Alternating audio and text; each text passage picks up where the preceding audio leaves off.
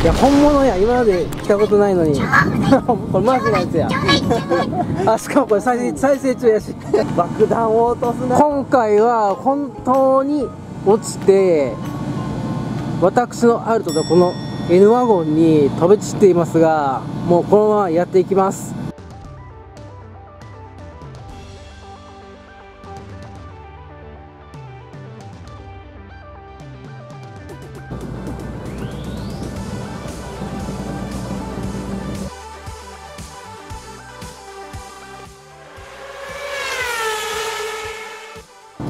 YouTube ですご視聴いただきありがとうございます。今日はですね愛車紹介をやっていきたいと思います。いやでは皆さんよろしくお願いします。ではオーナーさんの正岡四季さんの四季さんです。こんにちは。よろしくお願いします。今日お願いしはます。今日持ってきていただいた車っていうのはこれは何になんですかね？とホンダの N ワゴンカスタムです。N ワゴはい。ン N, N ワゴンの N って結構車種ありますけど、はい。これってななんでこれを車を選びになられたんですかね？えっとですねまあ前の車がですねはい。スバルのフォレスターだったんです前がスバルのフォレスター。はい。もうずっとスバル一筋ではい。スバル車で乗ってきたんですけど、はい。まあエンジン不調でエンジン不調で。もうちょっと廃車にしなければいけないかなっていうので、はい。まあちょっと手頃な軽をはい。探してて、はいでまあデザイン的に一番かっこいいのがうん。N ワゴンかなっていうんで、まあ N ワゴンにしたあっていうところで。ーこの分だとやっぱ高すぎず低すぎずっていう。S6 とかでもいいなって思ったんですけどやっぱり今後将来をね、うん。やっぱりちょっと結婚とか、うん。やっぱり子供が生まれた時っていうところも、まあ、うん遠い将来を見つめて、うん。まあ、S6 は排除になってしまって、はい。はい。んでかといって N ボックスとか大きなワゴンになると、はい。まあ、ちょっと今はまだ独身になるので、うん。まあいらんかまあこの先10年先を考えるとな、はい、この N ワゴンに決決めたということですね。はい。ではですねこの N ワゴンパッと見何も変わってないように見えるんですけど実は変わってます。この辺から見ていくとこのエンブレムのとこですよね。はい、はい。これってオプションでもないしな。どういうことですかこれは。えっと純正回ですね。純正回、はい。このエンブレムって両面テープじゃなくってボルト止めとかですか？それとも両面テープと思ってました、えっとピンが2個。あピンが2個ですか。ちょうど H のあのはい。横のはい。付け根のところに2本。あこの辺に2はい。本止まってて、はい。であの赤のあれは一体正体は何でしょうか？えっとカッティングシートです。カッティングシート。えこれであんなに綺麗に入るんですか？もう紙に型紙を作って、はいあ型紙を作ってあーではい。入れて戻してやると、はい。いうことですね。それと皆さんこれちょっと珍しいしあまりやってる方がいらっしゃらないのでちょっと注目していただきたいんですけどもこのカメラこれはこれ純正オプションの純正オプション？カメラ。あーこれってつけてる方っています？いないですね。ないですよね。なぜここにした理理由っていうのはありますか？前のオーナーがつけてたからそのまんまあ使ってるあっていう前のオーナーさんがつけてたからつけてると。オプションは結構ついてるっていうのを前段階ではい。聞いてはいたんですけど、知り合いの整備士の方から、はいまさかコーナーカメラがついてるとはっていうああ私ちょっとこの辺のグレードっていうのは分かんないんですけどグレード的にはは、えっと N ワゴンカスタムのはい。G ターボ、G ターボ、G ターボということは、まあ、上級グレード。一番ね。上級グレードですね、あそれはかっこいいですね。こう目目とかももともといかつい感じがあってかっこいいですね。そうなんですよね。ですよね。それと、えー赤いですね。モールを1本で綺麗にですね取り付けているのが印象です。こうやって見ると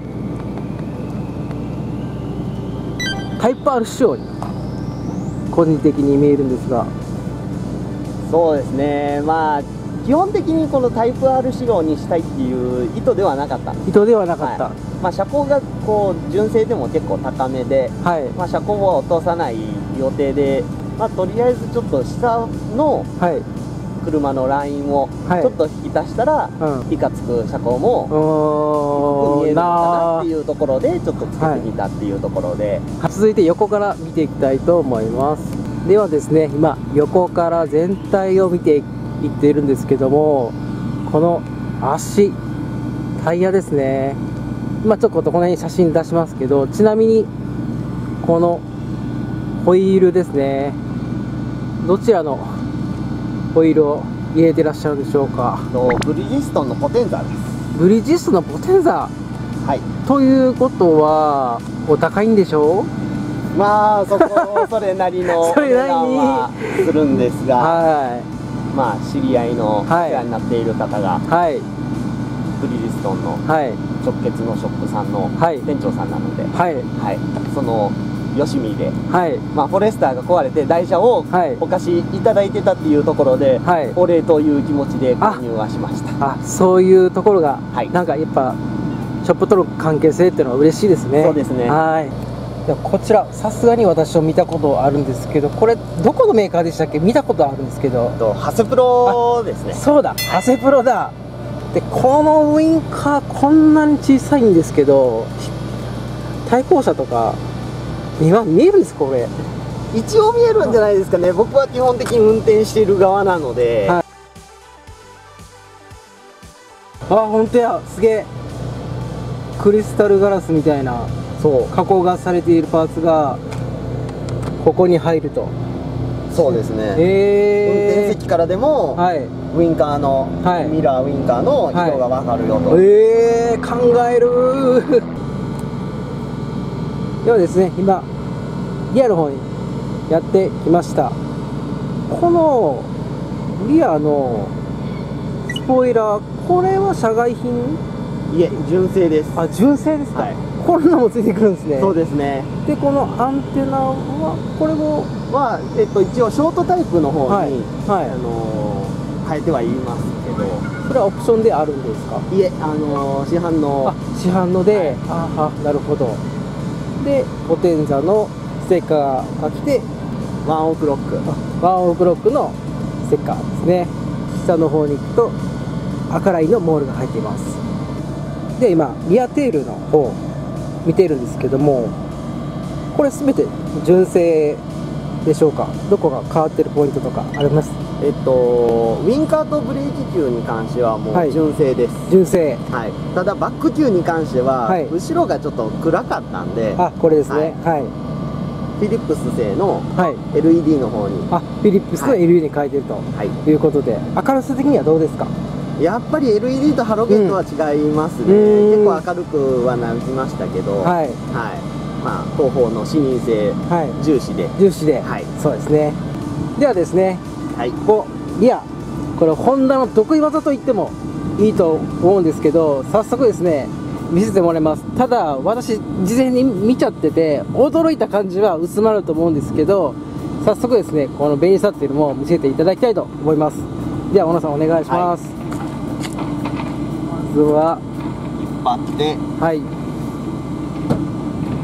このスペース結構これ広いですよ。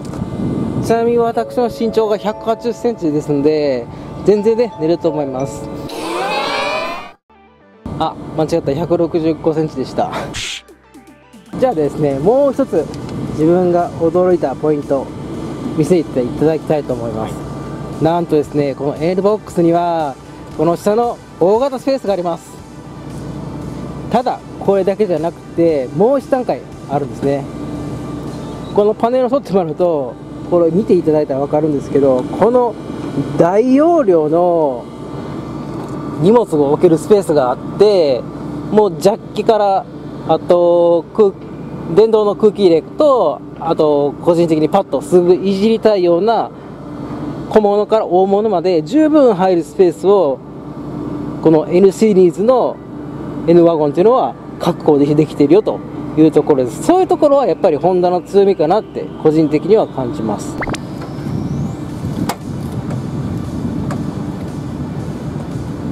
今普通に触ってますけども足元こんなにあります。右拳1 2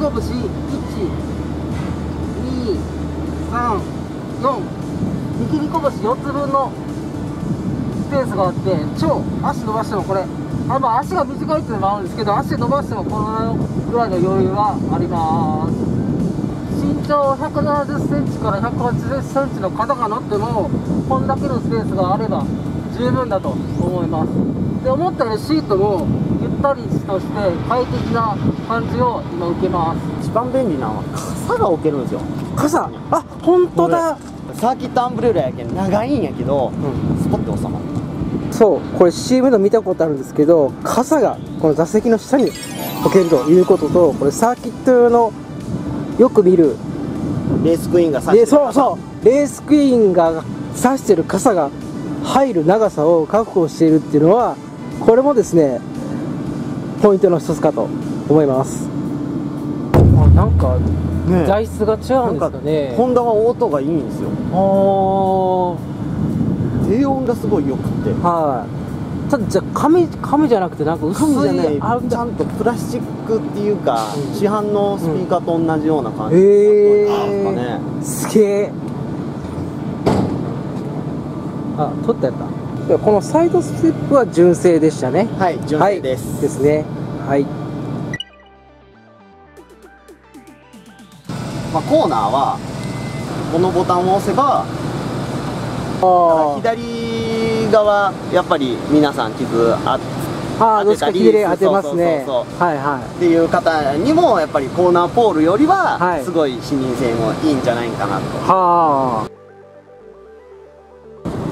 はいではですねオーナーさんと試乗インプレッション軽くですね骨回っていただきたいと思います。今ああって声出しちゃったんですけどちょっといい感じに硬めになってますけどこれはやはりタイヤのイッチジャップ。そうですね、えーインチアップとやっぱりあの合成が高いはい。電座のタイヤの性能かなっていうところで、はただやっぱりスポーツカーによってはやっぱりすごいノイズがはい。走る時のあのゴーっていう音がはい。すごいのが、はい。これはすごい静かかな。ああそれをなんか感じというか感触として受けるところがありますね、はい今オーナーさんが走っていただいている速度っていうのが、えー40キロ。はい。ここが制限速度40キロなんですけども思ったよりスムーズなスムーズなっていうかスーッというような加速感があってまだ全然余裕があるように感じるんですが普段このような40キロ以外の走るところでの加速力っていうのはどんな感じがあります？これ今40キロではい。アクセルはほんのちょっとはい。まあ昔でいう普通車に乗った時はい。にちょっと踏んだらすぐスピードが40キロとか50キロぐらい出るっていうところの感覚で今踏んでます。踏んじゃうとやっぱりカタログ値でもはい。2600回転。はいで10.6キロはい。のトルクが出ちゃうんで、あっという間に80キロだったり100キロ、まあ、高速の合流だったりっていうのはすごい楽。ああとはハンドルのーはい。両サイドにパドルシフトがあるので、はい。おおギアを選んでっていうところですよね、ちょっと前だと高級車にしかついてなかったものが今ではこの K っていう規格に全て収まってきてる時代っていうのはちょっと衝撃的ですね。そうですね。当たり前についてるっていうのがはい。は室内の電気も全部 LED なので最初から。いええちょっと席なんでごめんなさい。はい。はい。最初から室内が LED とはい。いうことで。でこれは私からなんですけどもう日産リーフに乗った方だとお分かりになるかと思うんですけど踏んだ時の加速感まあちょっと比べちゃったら大きいんですけどそのような加速感っていうのが味わえました。で先日後部座席にも乗せてもらって走っていただいたんですけども本当に後部座席でもストレスなく走れるこの車っていうのは仕上がりがいい軽自動車全般の仕上がりっていうのは格段に向上してきていると。いうことが言えると。そうですね。私は個人的には思ってます。N ワゴンに変え乗り換えても、はい。まあ普段のね地域のモータースポーツには貢献して、はい。はい、今年度は人生初めて国内 B 級ライセンスも取得しては公認審判員の資格も取ってあ。は全日本ラリーあ。は熊高原あとは唐津あのオフィシャル活動には参加してきまして、あ。はい、もう社会貢献もすですごいんですね。じゃあまさにこれからということね。そうですね。これからはあのーまあおいおいはい。いつかは出てみたいかなと。はい。いうところで。はい。はい皆さんいかがだったでしょうか？今日はホンダのロゴの安全紹介でございました。評価コメントチャンネル登録お待ちしてます